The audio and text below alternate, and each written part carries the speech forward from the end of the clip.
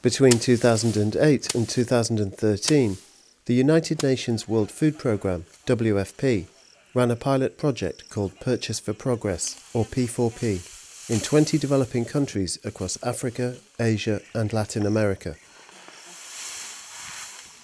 The project, funded by the Bill and Melinda Gates Foundation and USAID, aimed to improve farmer livelihoods by supporting them to grow more produce, store it safely, and sell it as more competitive players in their local markets. Here in Uganda, P4P has made WFP's local procurement a vital tool to address hunger. This is the place where we bring our crops when we have harvested. The middlemen used to come and cheat us. They used to buy our maize at even 300 or 400 per kilo. But now, through this store, we are selling it at a high price. We can sell our maize even at 800 shillings per kilogram. Then we get much money. The Pingire Community Grain Store was established by WFP to facilitate storage and allow farmers to market collectively and improve their earnings. It's one of many that have been built across the country, all part of a wider effort to improve the quantity and quality of foodstuff being produced here through P4P.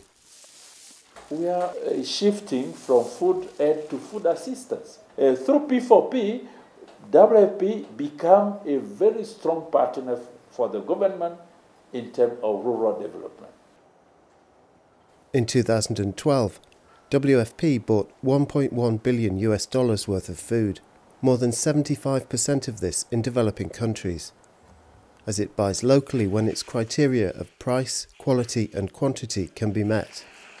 P4P is a logical continuation of this local procurement, linking WFP's demand for staple food commodities with the technical expertise of a wide range of development partners.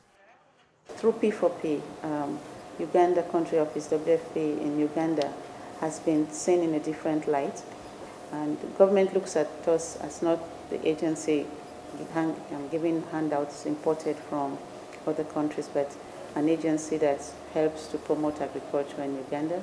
That symbiotic relationships of the community, the, the, the, the public sector, the UN agencies like the World Food Programme, these are good lessons to learn which should be scaled out. Now, support to smallholder farmers continues through the mainstreaming of key innovations and best practices realised during P4P's five year pilot phase. And farmers like Magdalena Akello are seeing the benefits. Now, through the store, I've managed to buy my plot. I've, I've even started to build that what the house there. Myself, I am a widow, but through this store, it is encouraging me. I, I even feel free because I get money enough for my life.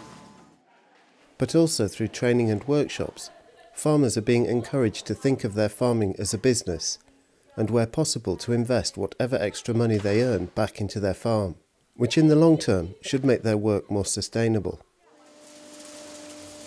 At the heart of the drive to make farming a business are efforts to engage with the private sector. Here at this grain mill in Soroti, WFP has leased out grain processing equipment.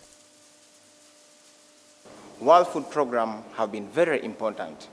They have played a very big role because without them, I don't think we would have been able to acquire this uh, plant. Recognizing the potential that Uganda holds, South African company Afgrikai has decided to invest in the country.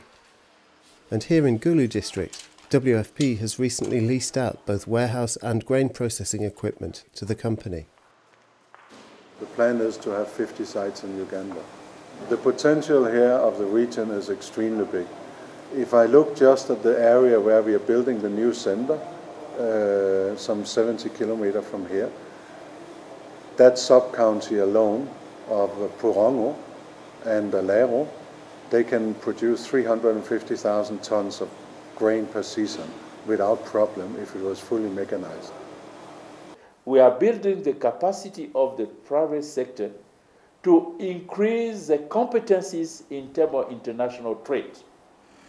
And you will see in the coming years, in two years' time or three years' time, you will see Uganda will take the lead in East Africa in the grain tr- market trade in East Africa because our private sector are, have, have now understood the challenge we are facing and they know they can make money, a lot of money.